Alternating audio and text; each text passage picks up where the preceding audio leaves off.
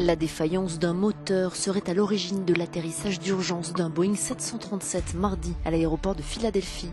Le vol New York-Dallas de la compagnie Southwest a subitement chuté quand des parties du moteur se sont détachées.